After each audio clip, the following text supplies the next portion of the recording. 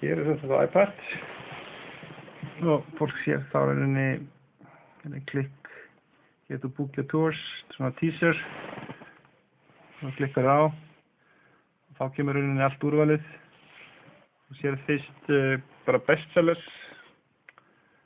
Og getur við farið hérna og tjekka availability book the trip allar leðina og getur líka hérna farið við það all tours.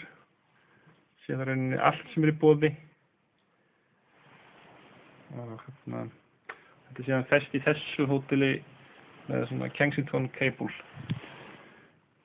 og í sérstöku hulstri